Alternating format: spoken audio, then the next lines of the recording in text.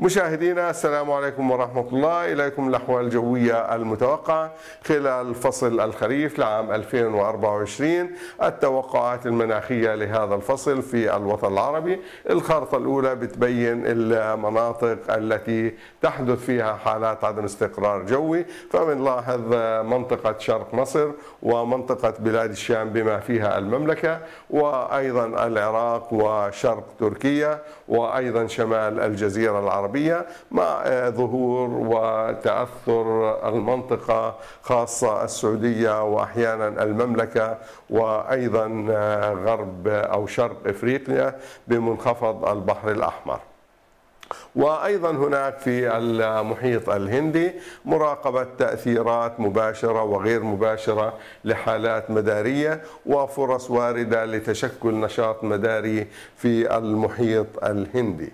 وأما بالنسبة لأوروبا هناك اندفاع كتل هوائية باردة جدا وأمطار غزيرة في أوروبا وشمال أوروبا أما منطقة البحر الأبيض المتوسط فهناك ارتفاع في درجات الحرارة لافت أو احترار لافت في درجة حرارة المياه السطحية للبحر الأبيض المتوسط. وهذا يعني إنه ممكن تنشأ حالات متطرفة وتؤدي إلى أمطار غزيرة أحيانا خاصة في شهر عشرة و11 حالات خريفية نشطة على فترات تؤدي إلى تشكل السيول في منطقة المغرب العربي. وهذا أيضا وارد بسبب تشكل اللانينا أما النشر الأمطار أو المناطق التي تبين وتوضح هطول الأمطار. بنلاحظ أنه منطقتنا ومنطقة بلاد الشام والعراق وشمال الجزيرة العربية هذه تمثل باللون الأصفر. هذه آه، الأمطار المتوقع أن تهطل في هذه المنطقة خلال فصل الخريف متوقع أن تكون أقل من المعدل.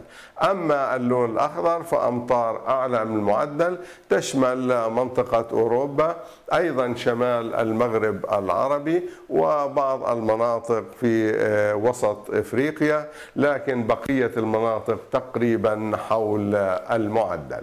أما بالنسبة للخارطه التي تمثل درجات الحرارة فاللون الأحمر يمثل درجات الحرارة أعلى من المعدل وتشمل منطقتنا بما فيها المملكة وأيضا شمال الجزيرة العربية والعراق وتركيا وأيضا أجزاء كبيرة من شرق أوروبا ووسط أوروبا وأيضا منطقة المغرب العربي وجزء من المحيط الأطلسي واللون الأخضر يمثل أقل من المعدل في تقريبا في منطقة عمان وبقية المناطق المناطق حول المعدل.